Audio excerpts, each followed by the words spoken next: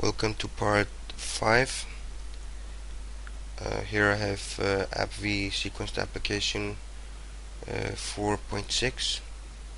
I've copied uh, it to uh, Windows 64-bit system with uh, AppV5 uh, beta sequencer installed.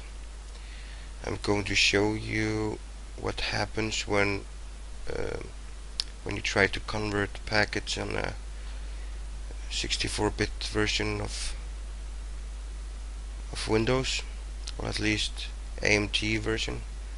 So we import the module uh,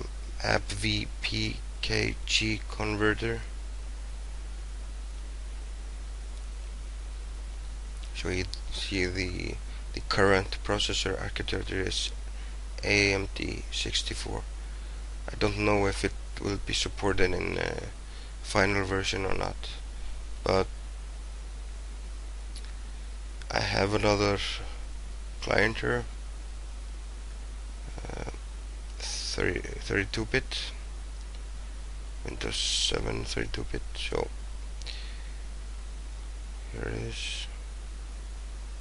32-bit system. I have the Microsoft application sequencer installed.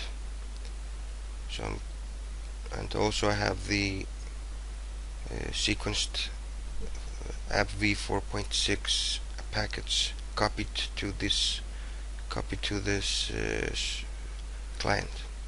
So I'm going to import the module AppV PKG converter. No errors there. So can get list of the uh, commands in the module. Just type in get command module. We have uh, convert uh, from legacy appv package and test legacy appv package. Uh, we're gonna test it first but uh, we are going to create a directory called VLC player.5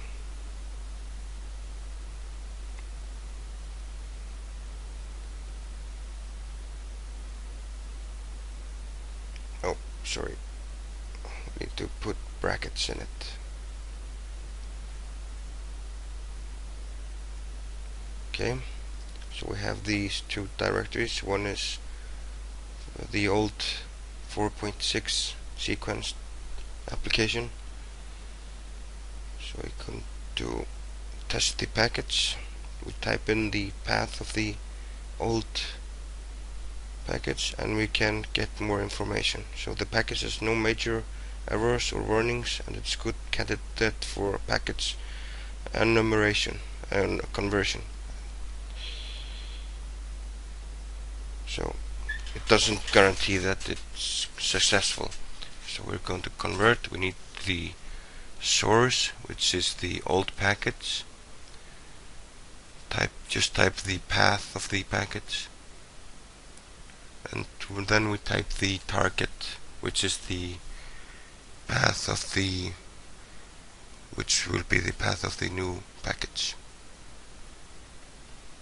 or the converted package I would like to say.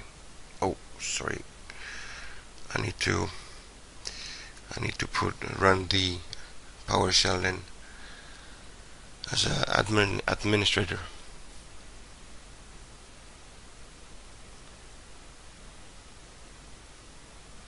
I'm just going to import the module now again. And then I'm going to copy the string there and paste it and it will start the conversion. So we have to wait a few moments there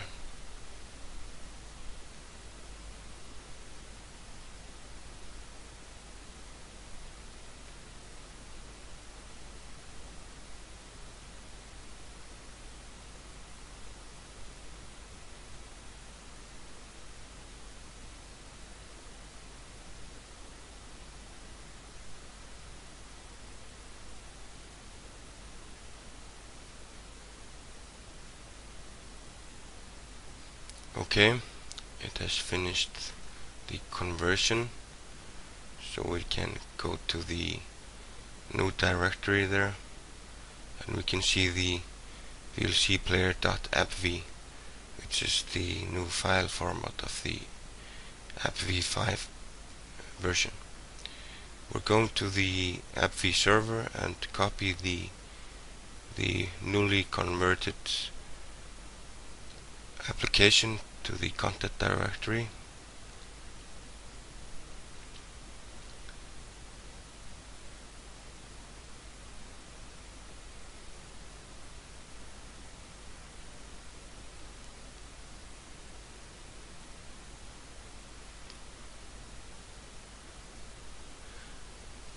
You can see the files there and then we're going to the application virtualization management console.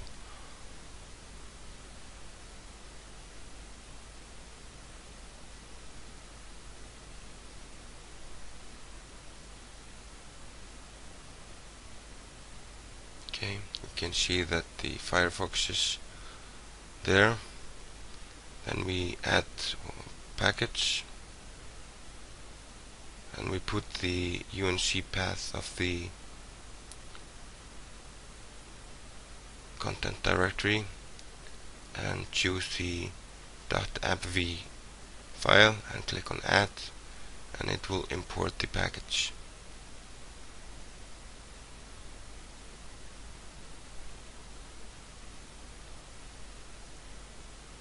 Okay click on close publish at the group appv admins check and grant access. Then we go to the connection groups and add the package. Apply close. Uh, okay we can see it's there. These are the application. You can see more in advanced details. But for now just going to the the client there. We have the Firefox there and we need to start the PowerShell and the it took took a few moments to get it running so I think it's something to do with the slowness of the network at home. So import the module appv client and sync appv publishing server. Okay. Check it out here okay we can see the VLC player. I'm going to just download the packages there. Wait a few moments. Okay completed. Okay and then we're going to try to open it.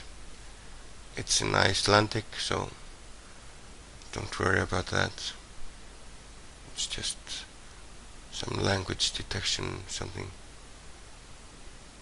Okay we can see I have the Prometheus trailer there. You can see the icon on the right corner uh, with the VLC hat.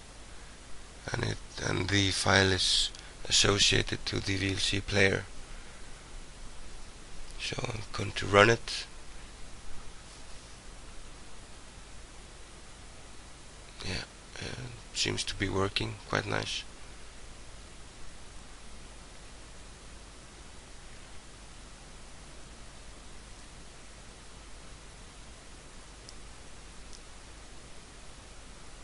Yeah works like a charm. Okay let's check another video here. Just go to the sample video that's included with the OS full screen. Yeah works. Great. Well thanks for watching.